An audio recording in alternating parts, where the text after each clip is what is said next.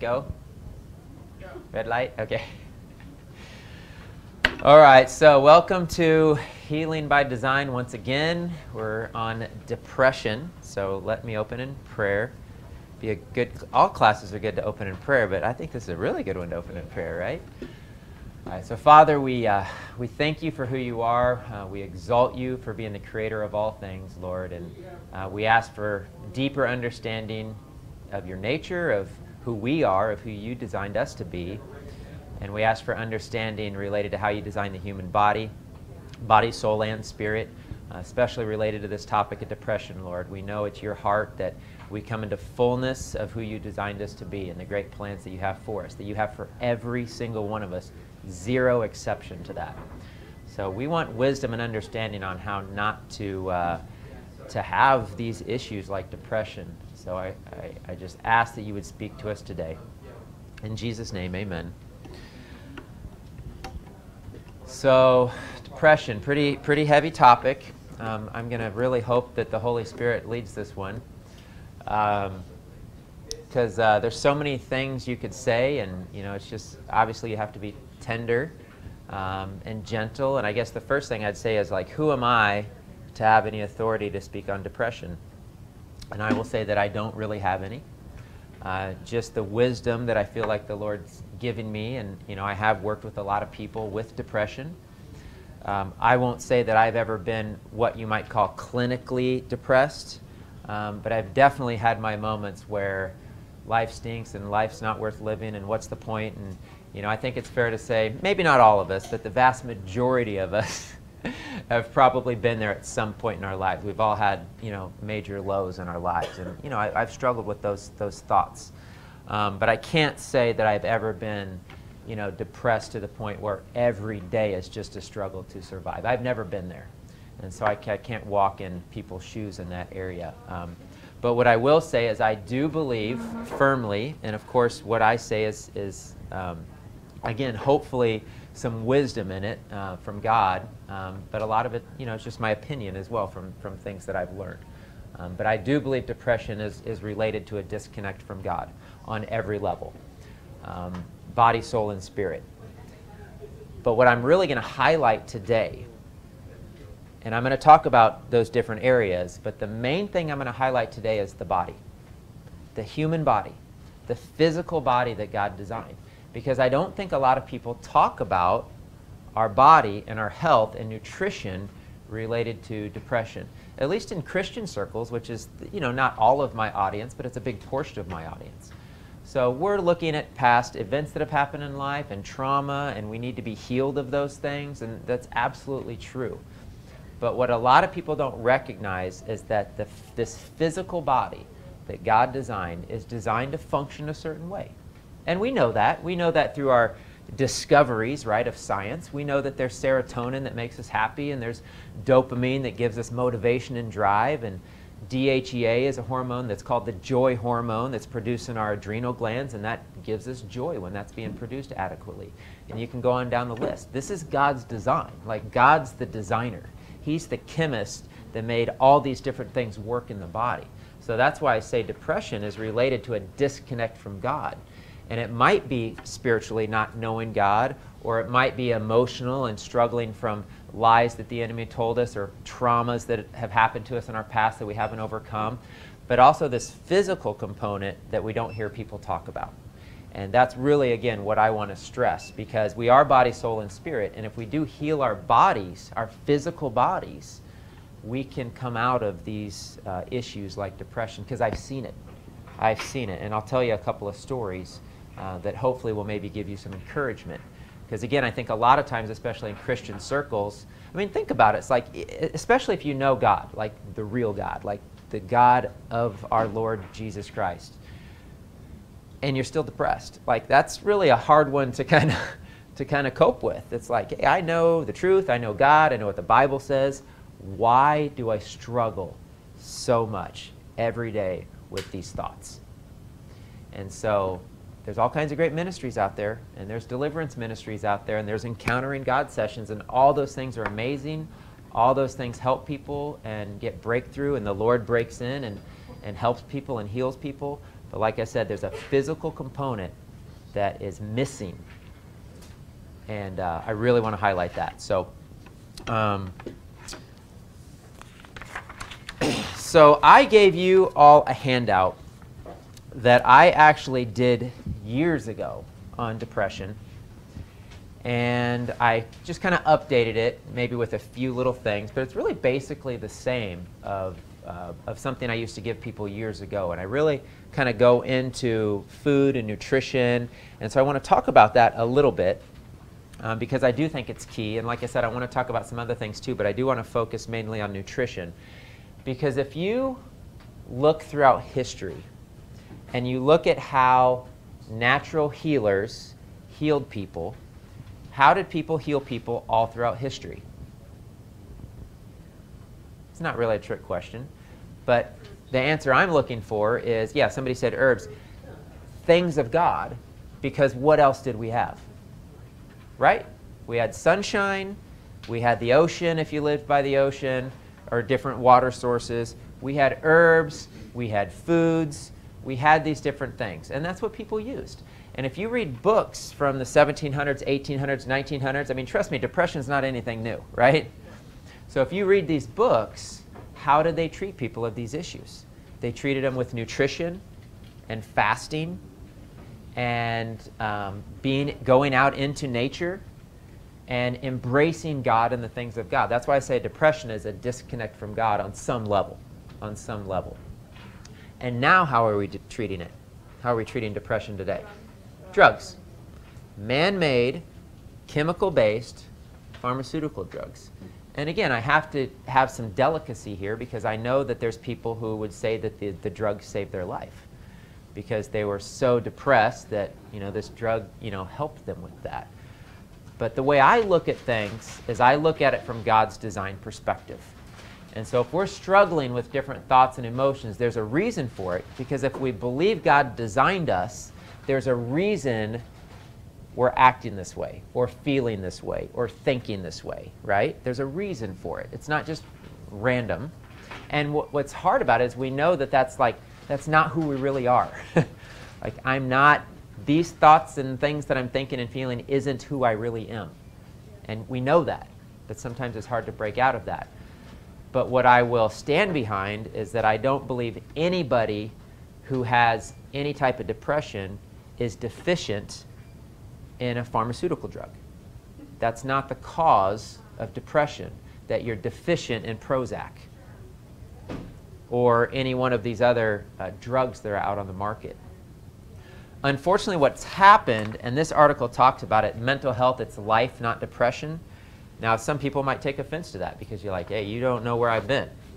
But it's a, it's a pretty real article about different people who have had depression. And she talks about four different people. And then at the end of the article, she talks about what's happened to those four people. And uh, some of them committed suicide. But some of them decided, hey, I don't need the drugs. It was just a rough patch in my life, and they're perfectly fine today. And so these are things we got to navigate when we're struggling with these thoughts. Um, what she talks about is the unhealthy relationship between pharmaceutical drugs and depression. And we think about psychiatrists. Now, I still hear this today. I still hear this today. I have people that go to the doctor, they have issues going on. They know that there's problems with their body. They can give you a laundry list of symptoms.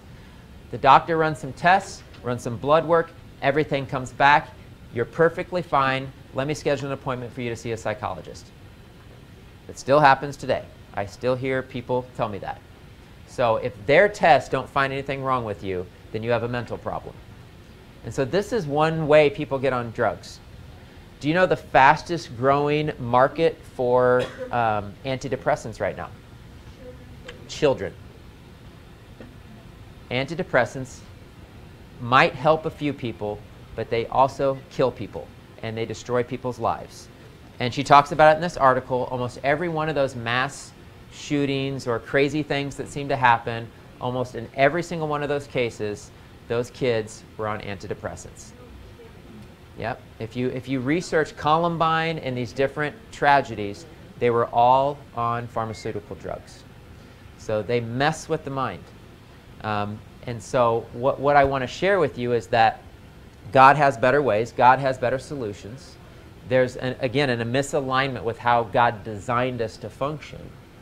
And a pharmaceutical drug isn't fixing anything, it's actually covering up the problem. It's covering up whatever our issue really is. what happened in the industry was that there are people who have quote unquote, and I'm not even saying I know what that means, but clinical depression, like, you know, every day is a struggle, suicidal thoughts, those kind of things. But what happened is, is people who are just having things happen in life, having a rough week or broke up with their boyfriend or got sick or what, you know, whatever, they would go to the doctor and they'd put them on drugs. And then they get hooked on the drugs. This is the kind of thing that's happening today. And the statistics from this article is in 2008, so I'm sure it's a lot worse now. But back then it was 4% of men and 10% of women on drugs. Now 4% uh, on antidepressants specifically.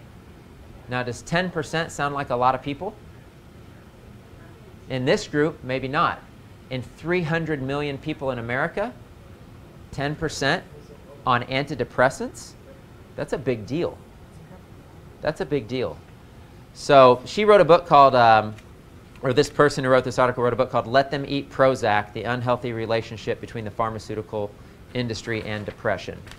And she went on to talk about how the antidepressants don't really work.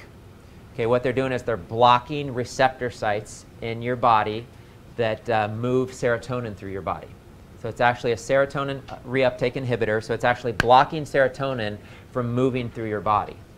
And so that's how it works. So it doesn't teach your body to naturally produce uh, serotonin. And again, there are physical components to how God designed us that help us produce these different neurotransmitters so, uh, and so that they function in our body appropriately. And so you can read that article. I'm not going to go through that, through that article. But I really want to talk first about food and nutrition and the link. Think about how God designed the body. Now, if we know that part of how he designed us, and we know this again through, through science, that we have serotonin, and everybody's heard of that, and we have dopamine, and we have DHEA, and we have epinephrine, and norepinephrine, and progesterone, and all these different hormones that form these different, uh, that have these different functions in the body related to, you know, happiness and joy and energy and motivation and all these different moods that we feel how do you think those neurotransmitters are produced? How do you think God designed the body to function? Well, he, he designed the body to function based on His design. And His design was us designed in His image, and His design was a Garden of Eden that He gave us, and He said, Eat of these things. And what are we eating today? We're not eating of the Garden of Eden. We're eating of processed food, fast food, chemical filled food, uh, white flour, white sugar. I mean, just, just junk. And it's not God's design. So, how do we expect neurotransmitters and hormones to work when we're not putting things that God designed into the human body? And so, nutrition is a huge link because if our brain needs certain things to work properly, or adrenal glands need certain things to produce hormones properly, how do they get what it needs? Through what goes in our mouth. How else do we get it? I mean, there, there are some things we get through the sun, and water is a carrier of information, but it's mainly through the foods that we choose to eat.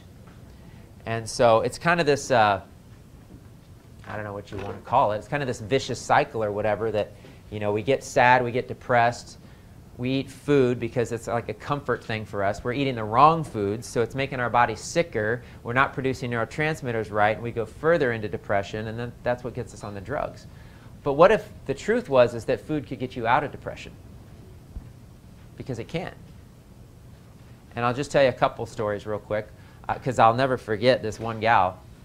And it had nothing to do with I did. It was something that she had done before I'd even met her she came in and we were talking about all her list of symptoms, and, and um, she had told me that in the past she had struggled with depression.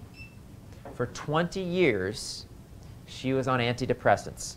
20 years on antidepressants. And if you know antidepressants, they're hard to get off of because they really mess with and manipulate your body.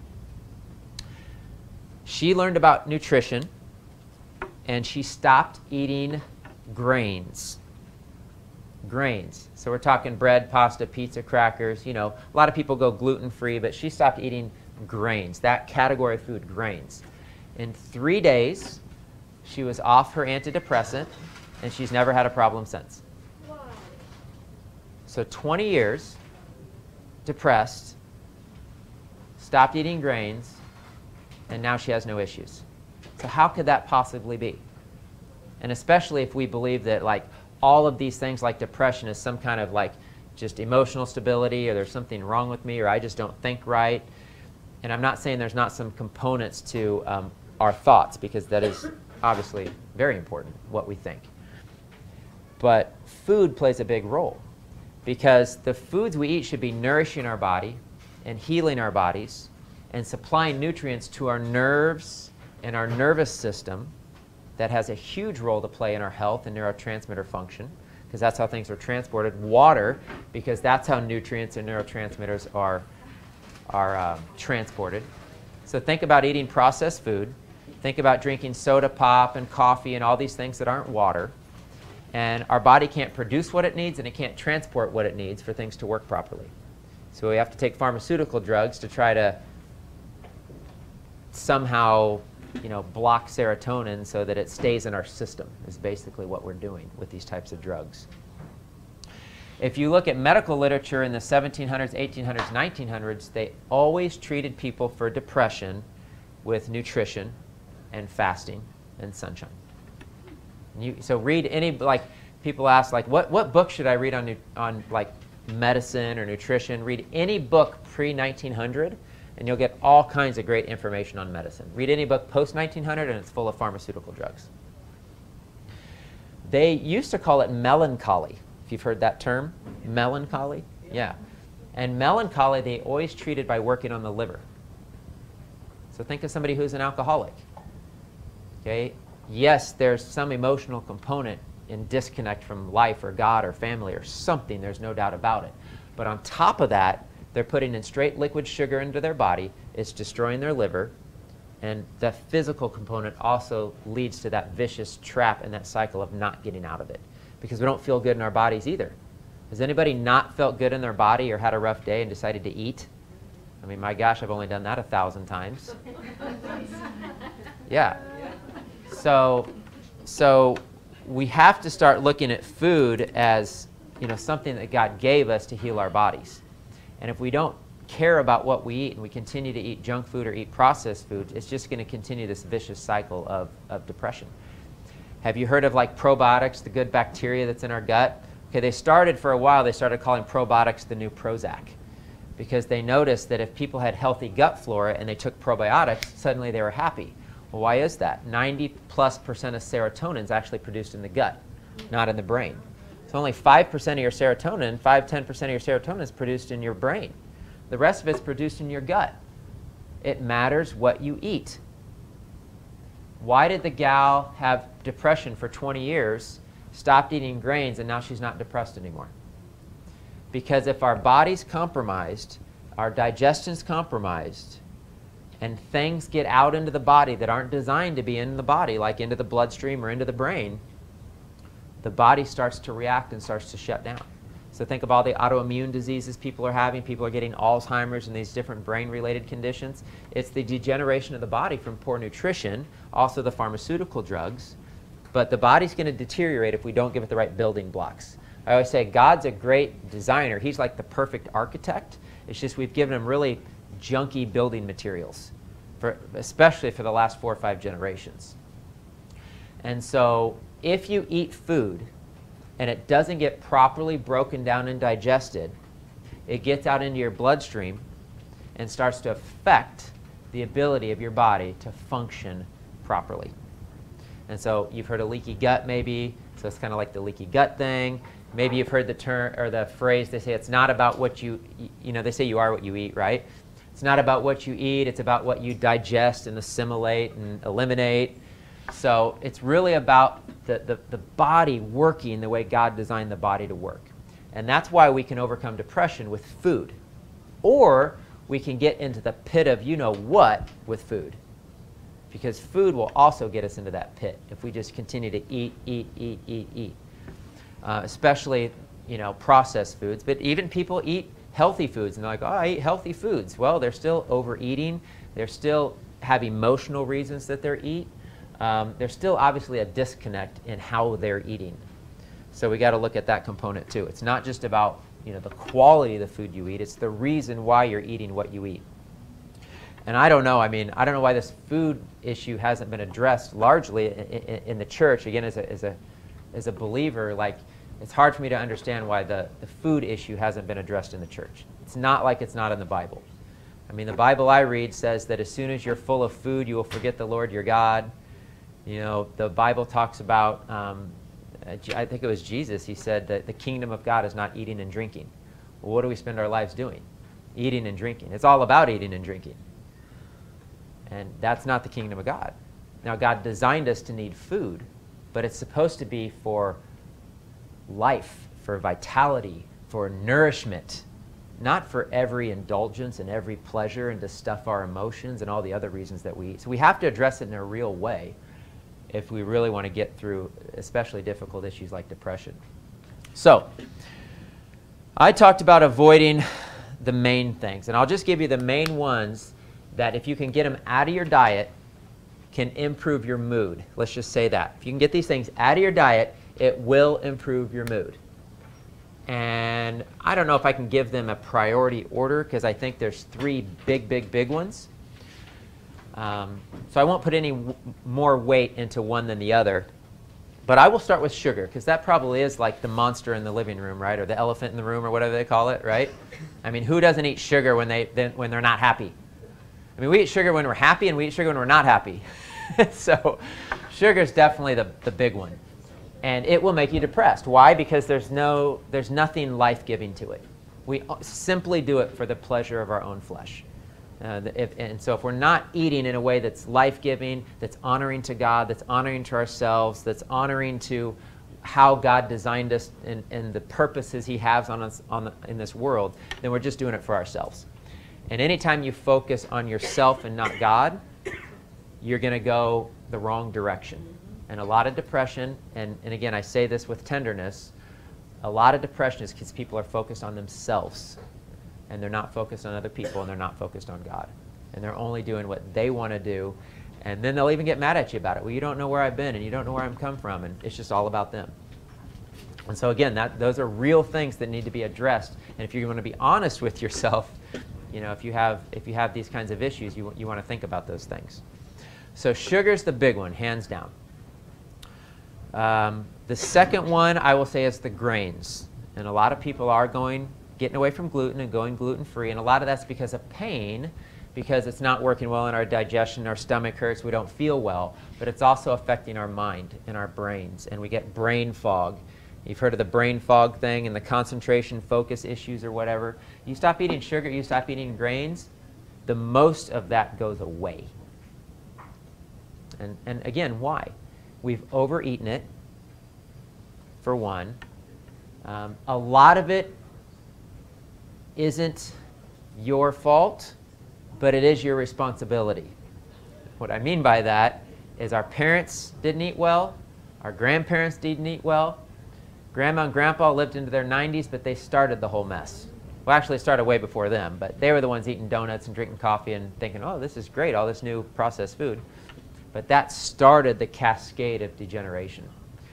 And so we have to break out of it. Even though we, you know, I joke like we've been dealt a bad hand, you know, generationally, because most of us have. Um, but, but because of that, we have to make wise choices. Because if we don't make wise choices and our body's already compromised and we don't eat well, we're going to have these issues. And again, we're talking specifically about depression, but you know, you're talking arthritis and digestive issues and all kinds of things people are suffering from today. So sugar, grains, and I'm not just talking about gluten. Gluten's a protein that gets undigested and wreaks havoc in the body. There's no doubt about it. But it's more the complex sugar molecules that are hard on the system, hard on the adrenals, hard on digestion, and they bog us down. What's one of the key components to depression usually? Fatigue. No motivation. You're just tired all the time. Well, when you eat heavy foods and complex sugars and grains and starches, it just makes you tired. And you just, you're sluggish. That certainly is not helping. And so they're complex sugar molecules that are hard to digest. Fruit's definitely a better choice, always a better choice.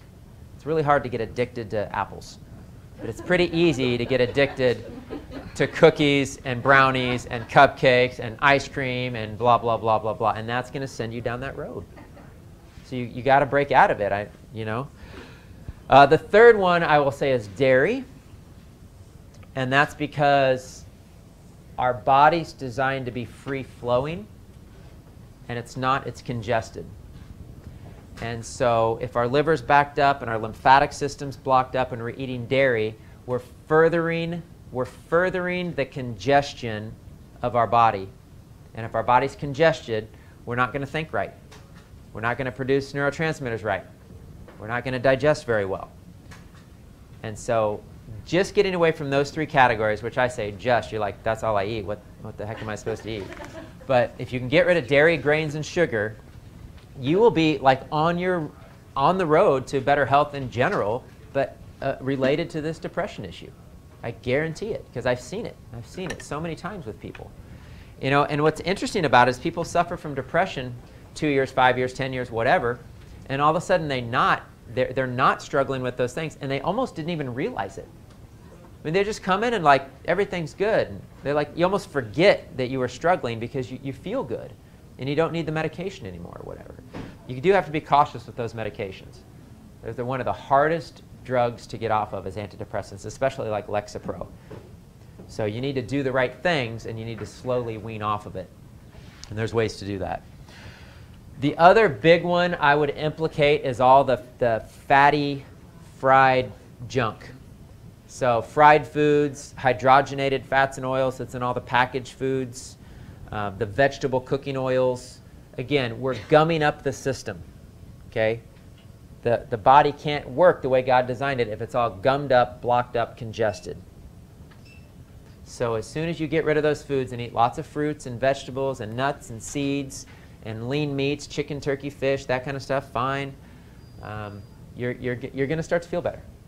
Again, I can, I, can, I can guarantee it. Might not get you all the way there. I'm sure there's other things that are part of your, your history or your past uh, related to your emotions or traumas that people experience.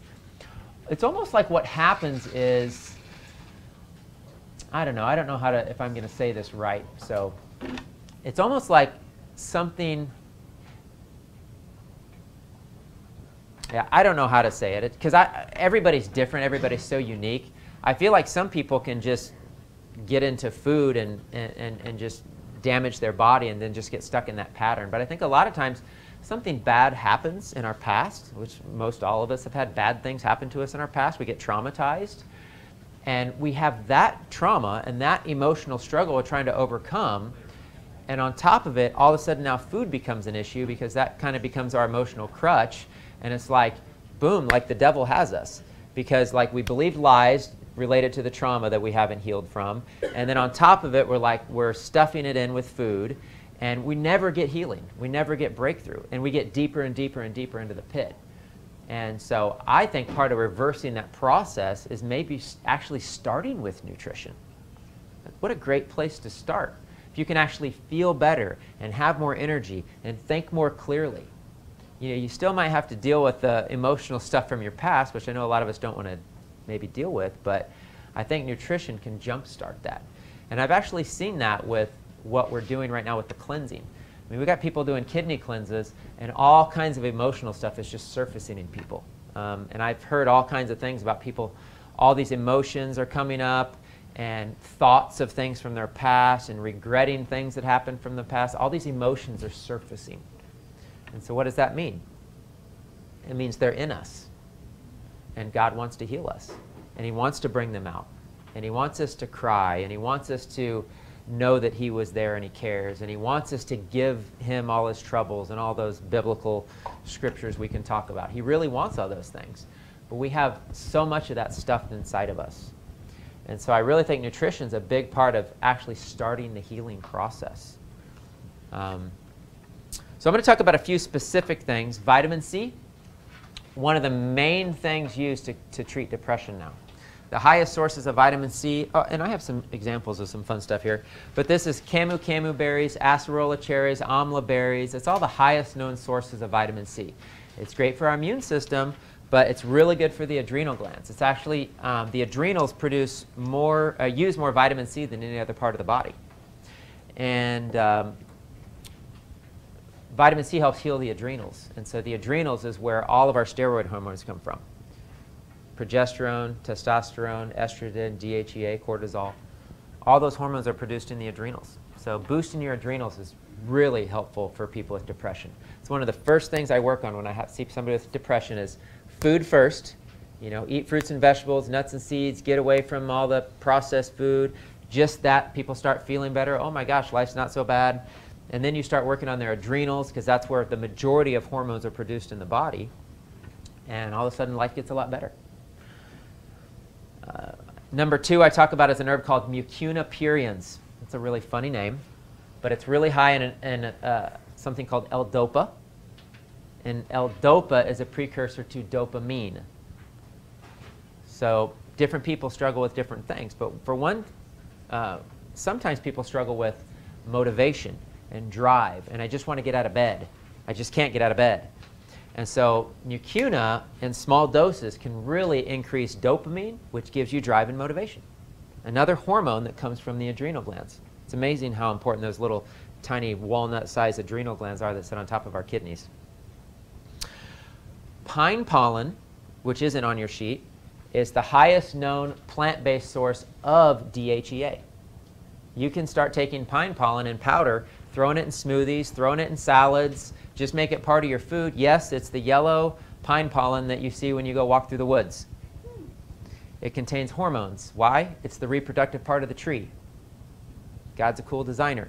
God designed us to discover, God designed us in creation to discover Him and discover pine pollen, not to discover McDonald's hamburgers and Twizzlers and soda pop.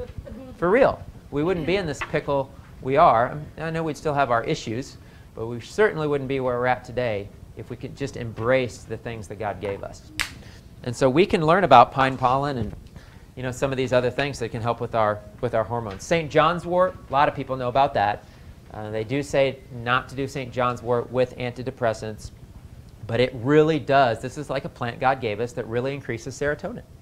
And we actually have a product called Happy Juice, and it really works. And people love it, and it makes them happy. So um, that has St. John's wort in it, but it also has a couple calming and relaxing herbs in it, like chamomile and what is in there, feverfew, and wild lettuce is the other one. So that's a pretty good formula. Uh, ginkgo biloba just increases circulation in the body and to the brain. So we're talking about neurotransmitter function. We're talking about transporting nutrition, transporting neurotransmitters to the brain and the different parts of the body. So ginkgo biloba is going to help with that kind of circulation. Holy basil has always been my favorite plant for years. I actually have one now that um, I'm more excited about than holy basil, if you can possibly imagine that. But holy basil I've been using for years for people with stress and anxiety. And talk about a symptom of depression, stress and anxiety, very common. People go through major, you know, death in the family or a loss of a, a dog can send people into depression or uh, a divorce or, you know, there's just all kinds of tough things that happen in life. But like she said in the article, sometimes it's life and it's not depression, which means not like, hey, just buck up, soldier, but it's like, let's not go to the antidepressant. Let's not go to the drug. Let's, you know, embrace and work through this and talk through it and find loved ones to support us and eat well um, and different things. So, so holy basil calms and relaxes the body. It uplifts the mood and the spirit at the same time. We have sold hundreds and hundreds and hundreds of bottles of holy basil. We absolutely love it. And so that probably won't change it actually stops the excessive production of cortisol from the adrenal glands. So that's very beneficial to stop cortisol, which is what's pumping out when we're stressed out. Now, a plant that I think is even better than that, imagine that, is CBD, cannabidiols, which is just one nutrient that's in the hemp plant, H E M P, hemp. Okay, not marijuana, hemp. It's a sister plant. It has hardly any THC, so it's not going to make you high or whatever. But CBD is the most powerful thing I've ever seen for stress, anxiety, pain, inflammation, seizures. It's worked literally the day people start taking that, that have seizures, they can get off their medications. It's unbelievable. Um, they are, uh, there's all kinds of information out there about CBD and how it helps people with depression. So think about why people smoke, why people drink, why people eat. What are we really doing? There's all kinds of answers you could give. Self-medicating would be a good way to look at it. We're, we're, stuffing, you know, we're not dealing with life, we're stuffing back our emotions. But what are we mainly sedating when we're choosing those foods? We're sedating our nervous system. We're sedating our nerves so that we don't have to deal with life. How do we deal with life? What does sensory perception work through? Our nervous system. Things we touch, things we feel. We don't want to feel, we don't want to touch we want to sedate. And so some people go from one crutch to the next. They stop smoking, but they stop eating. They stop drinking, but they start eating. And food's the one that like everybody's just okay with because, gosh, what else do you have left to self-medicate yourself with? You know, I mean, we've run out of options. So uh, I'm saying all this because ultimately, the answer is always God. God doesn't want us to sedate ourselves. He doesn't want us to smoke or drink or you know, destroy our bodies. We're made in his image. He doesn't want us to damage these bodies that he destroyed. He doesn't want us to eat, overeat, eat the wrong things, even overeat healthy things. It's not what God designed us for. It's not the purpose God designed you for. And so the CBD oil naturally calms and relaxes the nervous system.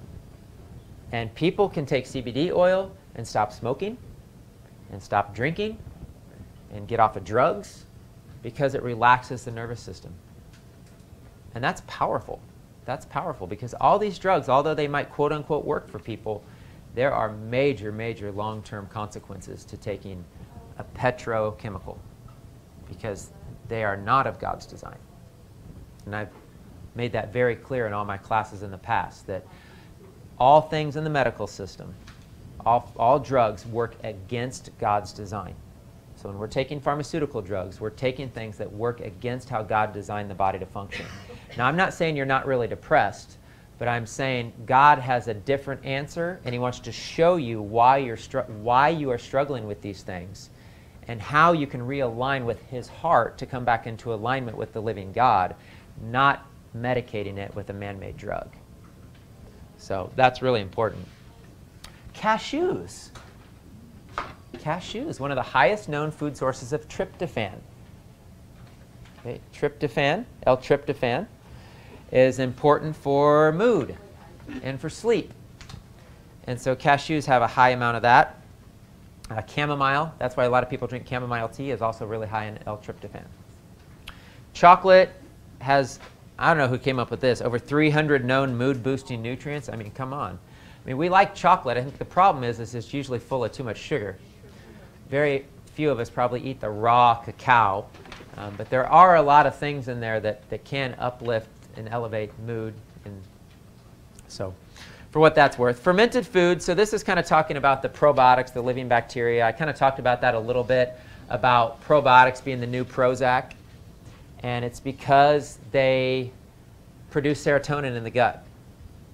And they also break down and digest our food properly so that we don't have these undigested food molecules getting out into our body, leaking out into our bloodstream, causing depression, causing autoimmune diseases, causing arthritis, inflammation, pain, all of these things from poor digestion.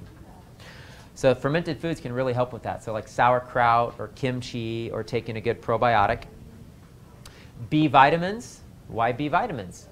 Nervous system again. So many great things you can do for your nervous system. B vitamins are one of the best things you can do for your nervous system. So you can take B vitamins, you can sprinkle nutritional yeast on your salads, you can do royal jelly or bee pollen or any of the bee products are high in B vitamins. Anything that supports your nervous system is going to help you naturally deal with life better. Let's just say it that way. And what part of your body controls your nervous system? Your adrenal glands. What are we amped up on? Caffeine, coffee, soda pop, sugar, all those different things that mess up the adrenals, mess up our nerves and nervous systems. Again, that's what sends us down the wrong road. So we really need to support our nerves and our nervous system. And we do that how? Calm, relaxation, listening to nice music, going out in nature and connecting with nature. How do we destroy our nervous systems? Food, coffee.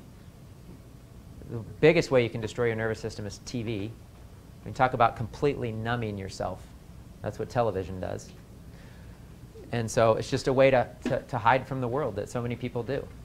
So there's so many other things. Again, this is why people smoke. This is why people do so many of these numbing things is to, to hide from, from, from reality. I'm not saying TV's bad or whatever. You know, I'm, our girls watch Bible shows on TV once in a while, but I'm saying if it's like, if it's become your God, so to speak, but if it becomes your crutch, you know, like food or whatever, again, you just, you, you, you got to break free from sedating yourself from the world.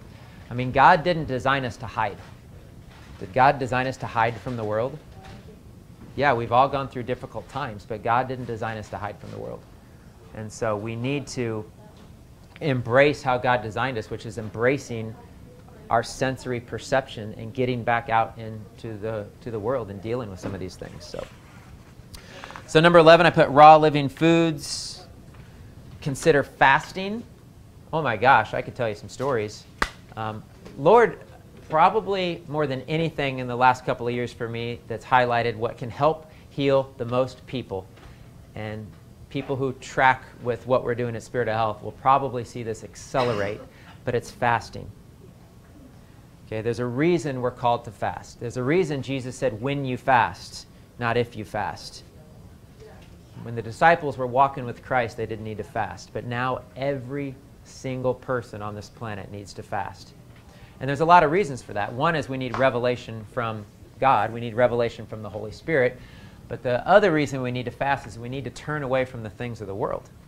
We need to turn away from food, you know, for example, that's destroying us, or, or technology. You know, some people fast TV or, you know, different things or whatever. But anything that's um, engrossing your life in a negative way that's not of God, you know, we need to turn away from those things. And that's why fasting is so important.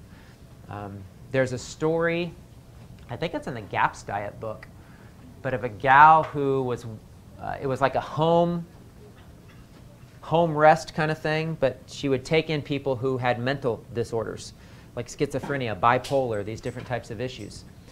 And she was in her house, and the gal with the schizophrenia got out. And they called the authorities, and they did a search for the city, and they couldn't find this lady. And she was missing for a week. And a week later, the lady showed up at the house, knocked on the door, and said, Hey, uh, I think you guys were looking for me. But she wasn't schizophrenic. She acted perfectly normal. After one week, how did that happen? She wasn't on she wasn't taking any of her drugs and she didn't eat any food because she was lost. And she healed. Fasting. So the way God designed the body is to heal itself. And it heals itself when we stop eating food. We kill ourselves when we keep eating food. I mean, this might sound like a bold statement, but I'm just going to say it. I think the biggest reason most people get disease and die prematurely is because they eat food. Wrong way, the wrong way. The wrong foods, eating food the wrong way. I mean, how else do we explain all the sickness and disease and degeneration in our culture if it's not for food? And so, yeah, it's really sad. Uh, but fasting is powerful. So just stopping eating grains and sugar, that's a form of fasting, and you're going to feel better. And it's not because grains are like the worst thing ever. It's because we've fallen so far and our food supply is so destroyed and our bodies are so weak because of what we've done generationally that people just can't handle even healthy grains anymore. I'm not saying everybody, but a lot of people. And so, um, what was I talking about related to food? Fasting. Fasting. Thank you. So one of the fastest ways, fastest ways to heal the body is through fasting. It really is. Again, that there, I, I have a book in there by Dr. Herbert Shelton, who personally supervised 30,000 people fasting. He was a doctor. He said, I've seen every single ailment known to mankind reversed through fasting. The only people he said he saw did not heal were people who had cirrhosis of the liver, where their liver was so hardened it couldn't regenerate itself. But name any other disease condition, and he saw it healed through fasting. Now, is this not the beauty of God? And the beauty of God, the simplicity of, I always say, let go and let God. We don't let go and let God. We hold on to food, TV, entertainment, everything that numbs us and destroys us. We want to hold on to it all. It, what are we really doing? We're holding on to the world. We're holding on to worldly things that bring destruction to God's creation. Food thing is hard because we have to eat, right? Like, we kind of have to eat something at some point. So it's a challenge. But we have to talk to God about it, and we have to walk in moderation, and we have to eat healthy things, and you know, we have to realize what's happening. So fasting is extremely powerful. I just really wanted to highlight the power of fasting. Animals in nature, when they're sick, they fast. When you get really sick, you fast. You lose your appetite. Why? Because the body's healing. And the body heals itself. Every gland, let me, let me just say this, like, for the camera. It doesn't matter what sickness or disease you have. It doesn't matter what emotional instability issue you have. It can be healed through fasting. You want to know a good biblical example of that? How amazing were the apostles? I mean, the, somebody touched Paul's handkerchief and they were healed. Somebody walked in Peter's shadow and he was healed. Okay, this is still available to us today if we could let go of the things of the world and choose God. This kind of power is available through Christ. But there was a, a boy that was having epileptic seizures that the, the apostles couldn't, couldn't heal, right? You know that story? And so what did Jesus say? This one only comes out through prayer and fasting.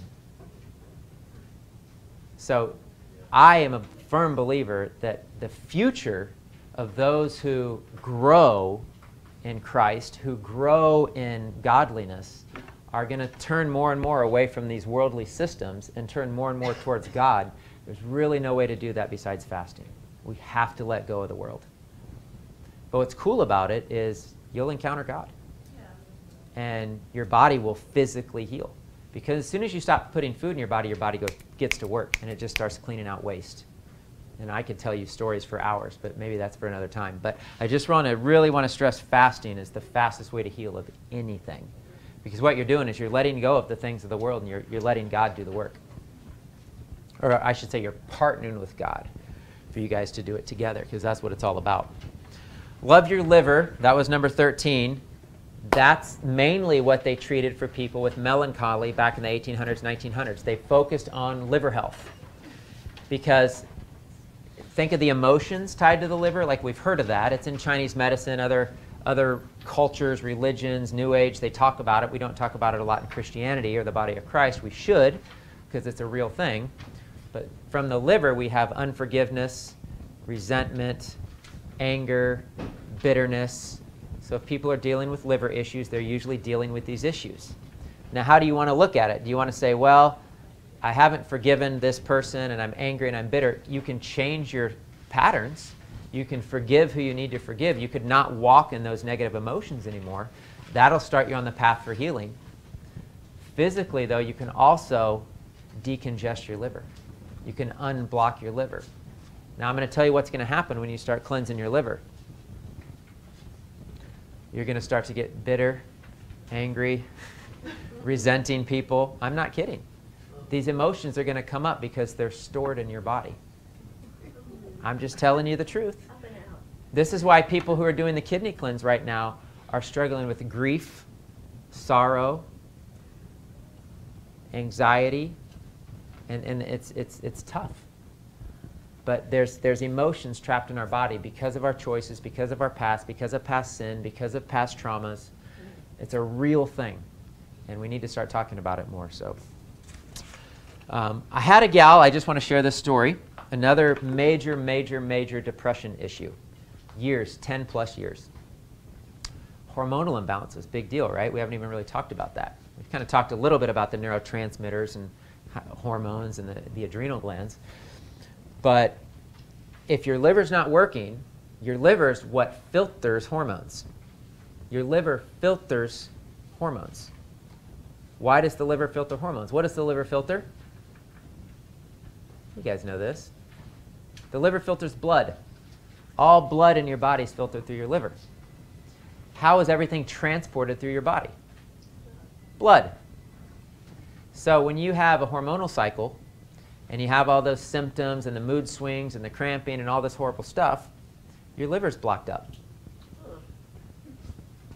Because menopause symptoms, it's, it's liver problems and, and I've told the story about my wife and the first and second pregnancies, how they were totally different because we worked on her liver in between pregnancies. And the second pregnancy, she had zero symptoms of pregnancy. She had no morning sickness, no nausea, felt so great. She was like, Am I still pregnant? I'm like, yeah, you're still pregnant, honey. It's okay. so, liver is a big deal, and it's because liver filters blood. And if you have hormones that are used up that you don't need anymore that can't get filtered out through the liver, you have symptoms. So this is why women have symptoms around their cycle. Liver's a big, big deal. So estrogen, progesterone, these are really important hormones related to a woman's cycle. Uh, had a gal one time who was struggling with depression for over 10 years, learned about progesterone and progesterone deficiencies, got tested, found out she was uh, deficient in progesterone, started taking progesterone, boom, wasn't depressed anymore. Overnight.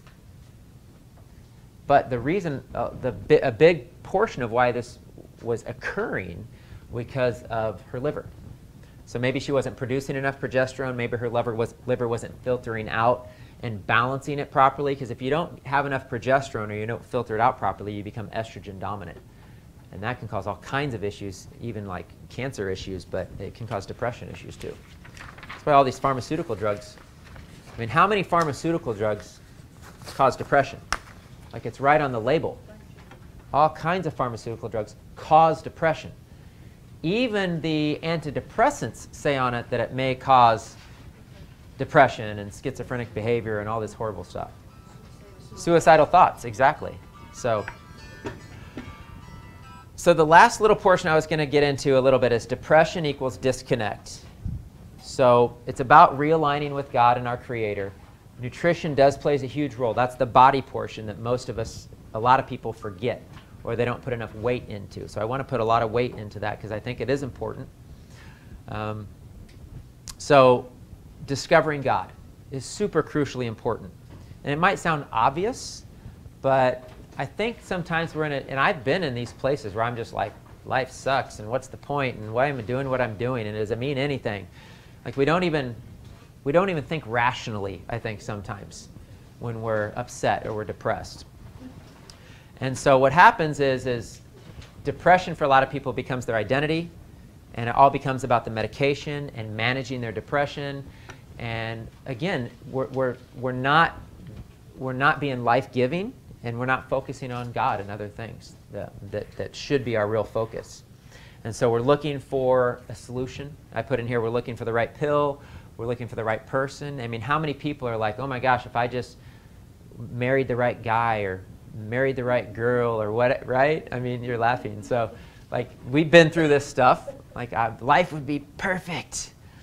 So, or the right stuff, or the right vacation, or the right house, or the, you know what, you know what I'm saying. That's, that's pretty obvious, but, um, but we need to look up. And what I put is we need to look up because the world will disappoint us. At every level, the world and people will disappoint us the people we love the most will disappoint us. Why? Because we're all sinful and we're all broken. And if we didn't have an example like Jesus, like we'd be toast. Because people will disappoint us. That's just that's the reality of life. And people can be great for us, and they can be uplifting and life saving and life giving. Um, but you can't put all your focus on people. You have to put it on God. And it's all God anyway. If, if somebody impacts your life in a positive way, it's because God used that person and God worked through that person to, to, to make a positive impact in your life, right? And that's how it works. So, uh, purpose is crucial for finding joy in life. So, I think purpose is one of the most important things in life, and especially related to depression. I mean, do we believe like Jeremiah, what is it, 29:11, I know the purposes that I have for you. I mean, these scriptures like God really has a purpose for every single human being on this planet. And we are so wrapped up in everything else but our own purpose. And a lot of times it's because we're seeking things, we're seeking happiness, but a lot of times it's just because we're seeking self and maybe we don't realize it. We're not seeking purpose in life because we're only focused on entertaining ourselves. And that's, that's pride. That's selfishness. That is a root of depression. And again, I, I, I say that with love because people can get mad at me and say, You've never been where I've been. And I, I know, you're right, I haven't. But I do know that the root, a lot of a depression is self focus. So I just want to be clear about it because um, we need to find purpose in life outside of ourselves. Doesn't matter what happened to us in the past, doesn't matter how traumatic our past was we have to find you know, purpose in life. That is huge. Um, another story, I had a guy in my office. I think this is a good example. I had a guy in my office who was struggling with depression just recently. And what had happened is he retired from his job. Now, I didn't say this to him, but what I'm thinking is, where was your purpose in life? his purpose in life was probably wrapped up in his job. And so now he's depressed. But if his purpose in life maybe would have been more on God, and I'm not picking on this guy, but I'm saying if his purpose on life would have just been on serving God, then you retire and you're like, boom, God, what's next? Let's, let's rock. But it wasn't. He's now depressed after retiring. So it just shows how much we can get caught up in a job or a person, right? I mean, how many how many teenagers do you think got on antidepressants because they broke up with a boyfriend or girlfriend? For real. That's no joke. That is real. Because they put all of their weight in a person. You can't put your weight in a person or a pet or a plant. I mean, these things can bring us joy in life, right? I mean, these can be good things. But if you put all your weight on an, on an item or a person, you know, eventually it's got to be about God or it's, or it's a waste. Your life's a waste if it's not about God. It's just the truth. So, oh, I had that scripture here, Jeremiah 29 11. I didn't even realize it. For I know the plans I have for you, says the Lord plans to prosper you and not harm you, plans to give you hope and a future. Do we believe that? Especially if we're in a dark place. I mean, I've, I'll be honest, I won't tell you too much, but I mean, it's been within the last month that I don't know if I believe that. I mean, we all struggle. We can love the Lord with all of our hearts and really struggle with who we are, and struggle with identity, and struggle with purpose. And so we just have to keep our eyes on Him. Because really, what's blocking us from our purpose and our destiny is worldly systems and, our, and self, right? Self. We, we block ourselves from our purpose and our destiny. Because God, you know, just like I talk about healing, like God's never in the way of your healing. He's never in the way of your healing. He's not in the way of your purpose and destiny either. He's not. It's just that we're choosing self or we're choosing other things in the world. So we got to let go. So I put disconnect from God can cause some of the following things no hope in God, no purpose in life, not a real relationship with God. He wants relationship, he's looking for friends. It's a marriage, it's about a, a an upcoming marriage. So we can have rebellion, disobedience, turn away from God, not thinking we're good enough for God. Like that's one of the biggest lies. Um, is that thinking we got to do something or clean ourselves up to like present ourselves to God? I mean, nothing could be further from the truth. That's actually pride if we think we have to do that. Because what we need to do is we need to have humility and say and fall, you know, on our knees and say, God, clean me up because I can't do it myself. If we think we can clean ourselves up, or we don't think we can present ourselves to God without getting cleaned up first, That's, that's just pride. So we, we need to give it over to God. Uh, being unthankful instead of thankful. That's a big one, I think. I mean, I really think one of the, re- I struggle with this. Like, I struggle with uh, the abundance that we have. I really do. I struggle with how much our food budget is, and we have this huge yard and we don't grow all our own food. I think about these things. Like, we have such abundance that are we thankful anymore? Are we thankful that we have a roof over our head and clothes and food to eat? Because if we were thankful for those basic things, which the Bible says that's all we need, and God already knows what we need and He's taken care of it before we even thought about it, we're pursuing so many other things and we're, we're, we're not thankful anymore. We're thankless. And again, that, those are, uh, these are things that can lead to depression. I mean, how many of us think that we just don't have enough? Again, if I only had this or only had that, or if this was better, if I had more of this. So being thankful, I think, is, is really huge. Uh, unforgiveness, carrying our burdens instead of giving them to the Lord. So I talk about different ways to connect, connecting with people. And I put a little quote on here The enemy wants to seclude us and destroy us. The enemy wants to seclude us and destroy us. People who are depressed want to go hide in a corner, and that is, that is a tool of the enemy. And people, people unfortunately and sadly have ended their lives. You know, I, I know people personally who have committed suicide. And that's a lonely place to get to that level to commit suicide when God is all about people and he's all about community and he's all about fellowship and he's all about us being together and encourage each other and lifting each other up. So as hard as it is if we're depressed, we have to reach out. If you hide in your cave thinking you're going to snap out of it yourself or just be strong enough to overcome it, you're, you're not. You're not strong enough. So we, we have to connect with, with people. That's really important. We got to get out. Connecting with nature. I love connecting with nature. I mean, that's where I connect with God the most. I like to paint that picture of people, and I won't go into the do the whole story. We could all like meditate on it, but like you can be super stressed, anxious, upset, depressed, you can go out in nature and a little deer comes up to you or something like you're going to be like whoa that's cool. Look at the deer. Like you just like forget that you're like upset all of a sudden you know? Like the little bird comes down and like that's a cool bird. So nature's powerful. There is such power in nature and our bare feet on the earth and the sun in our face and going outside and camping i mean again think of all these things that are of god and think about what we do when we're depressed we stay inside we watch tv we eat we stay alone and we're lonely we don't reach out to other people, right? And, and, and God's kingdom is the opposite. It's the total opposite of all those things. So again, what are we choosing? Are we choosing ourselves, or are we, and are we choosing to hide, or are we going to actually give it a go?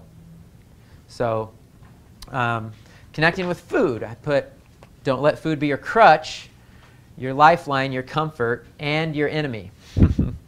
Food is meant to nourish and sustain the body, not torment us. And I won't give my testimony yet because I'm not, it, not where I need to be yet for that. But uh, I have tortured, I have been tortured and I've tortured myself with food for years and years and years. And I know there's deep, deeper roots because of it. I know there's generational roots to my food problems. And so these are just things we have to overcome. And uh, it's tough. It's a battle. It's really a battle. Connecting with exercise. God designed the body to move. Everybody feels better when they're exercised, but again, it's the old double whammy again. When you're depressed, who wants to go outside and exercise? You don't even want to get up and go take a walk. You just want to be sad. Right? But when you exercise, you feel good. You feel better. And why? You're releasing hormones. That guy that I mentioned that was depressed after he quit his job said the only thing that made him feel better is when he went and exercised right? So at least he was getting out there and exercising. What's that do? Endorphins, epinephrine, norepinephrine, adrenaline. You're, you're producing hormones that generate life, that are life giving. So exercise can be very powerful for helping people overcome depression. Imagine putting it all together. Like, God, I'm going to seek you for my purpose. I don't know what my purpose is. I'm lost. I'm clueless, but I'm yours. Like, that's a good first step changing your you know white sugar, white flour, kind of getting some of the junk food out of your diet, maybe doing some herbs that help. I didn't even show you this other stuff, but there's all kinds of cool stuff. that help. Exercising. I mean, I always say, like, it's impossible not to get better if we choose God and if we choose life and the things of God. And just we're struggling so much. Connect with doing life, uh, connect with your creative side. This is a cool thing I get to see in people's eyes. Like, there's a thing I can see in people's eyes that I can tell they're super creative people. They're artists or they're dancers. And sometimes they're not, um, I was going to say art, artist, artisting. What's the word? They're not dancing. They're not producing art. They're not being who God designed them to be. Identity, I didn't talk about uh, identity, I talked about purpose, but identity is huge. Do you know who you are? Do you know who you are and why you're on this earth? If you don't know who you are and why you're on this earth, then just, again, just get before God and ask Him because you're just going to struggle your whole life. And so, identity is huge. And some people's identity is in who God designed them to be. And maybe that's a dancer, and maybe for 20 years that person hasn't danced. Why? Maybe they had a bad experience dancing. Maybe, uh, maybe they gained weight and they don't, they, don't, they can't dance physically, or they gained weight and they don't look good when they dance and they're worried what everybody thinks about them, or whatever. God designed you to dance. You need to dance. God designed you to do art. You got to do art. So I talked to my wife about this because she's a super creative person, and she dances, but she's been a uh, she loves art, and she doesn't do much art anymore. But like that's part of that's life giving for her to express art, and design and create. So my point is, is we have to be who God designed us to be. Well, first of all, do you know who you are? Do you know who God designed you to be? Do you know your purpose on this earth? Are you just floating through life without purpose? And then we need to embrace who God designed us to be and embrace our gifts, talents, and abilities and do things for the kingdom of God because He has a purpose for every single person. Every single person here and every single person watching this. You have a purpose in God. And if you haven't found that yet, I really encourage you to seek that out. So I will end there. I know I'm over an hour. So hopefully that gives some people some ideas on depression. But like I said, don't underestimate the power of food because that can either get you deeper into depression and feeling bad about yourself or it can pull you out of it. It's a big piece of the puzzle. And I, again, I get to see it every day. Praise God. So, what questions might you have? Yes? If you're going to do a fast and you're on all of these different things, yes. You know, day by day, can you continue to take those and fast? So the question was, can you continue to fast while taking supplements? The answer would be it depends on the fast that you're doing. If you're just eating fruits and vegetables, take all this stuff, that's fine. Even if you're doing a juice fast, you can take supplements. If you get into more serious fasting, like water fasting or dry fasting, probably not. Uh, but most people fasting, especially if you've never done it before, you're just going to probably be doing like cutting out grains or sugar or dairy or whatever. Uh, maybe just doing fruits. An easy way to fast, I tell people, just eat fruits and vegetables. Just eat lots of fruits and vegetables, cut out all the other stuff. That's a great way to fast. All raw? Uh, raw is ideal. You could cook it if you need to. Uh, it wouldn't be the end of the world if you cooked it, but, but raw is ideal. So, but yes, you can take supplements while, and, and supplements while fasting are really powerful, especially if you're cleansing.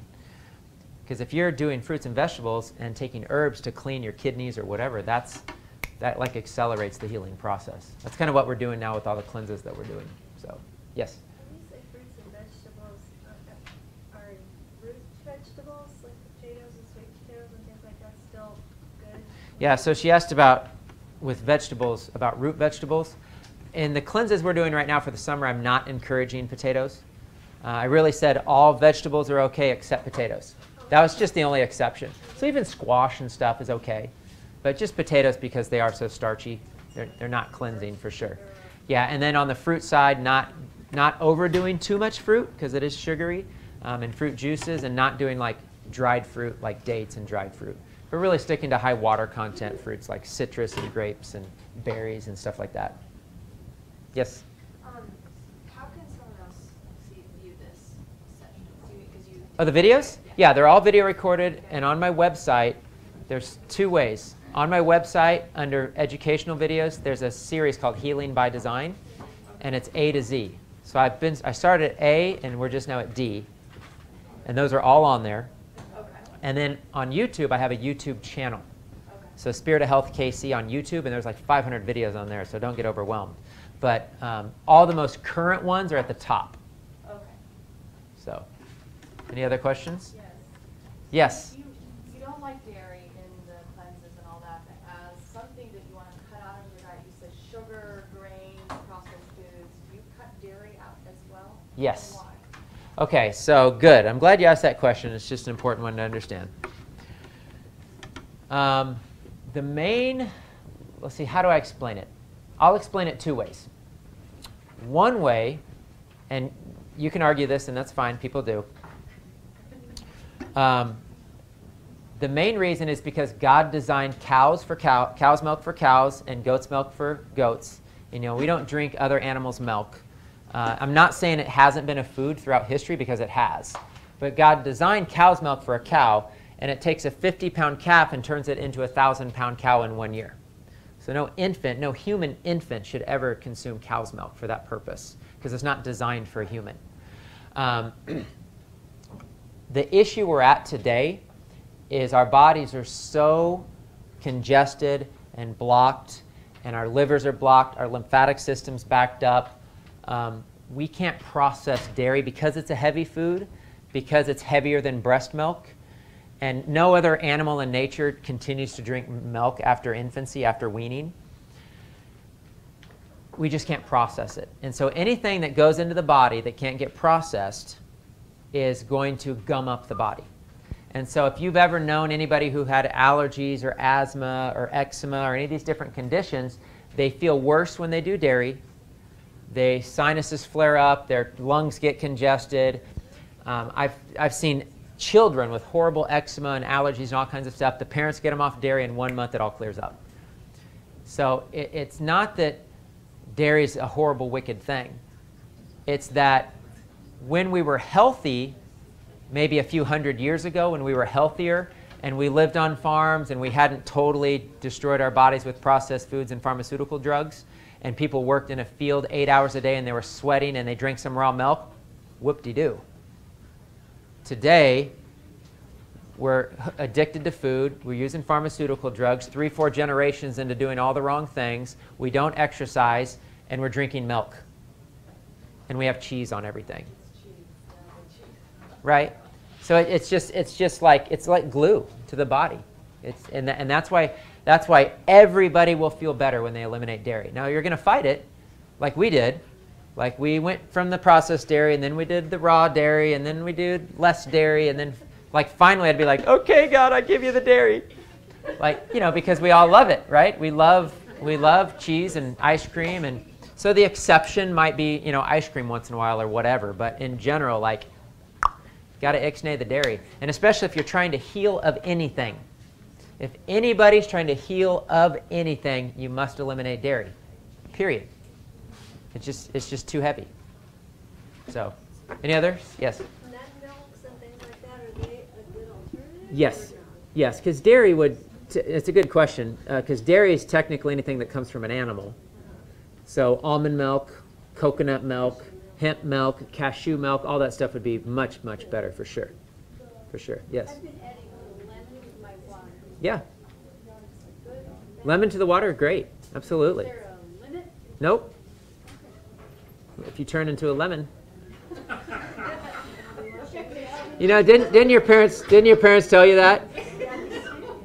If you keep eating that, you're going to turn into a watermelon. or watermelon's going to start growing out your ear. No, I, I think lemon in the I think lemon's one of the most powerful cleansers on the planet. All right, class dismissed. What, what's next week? What's after depression? I don't remember. It's up there.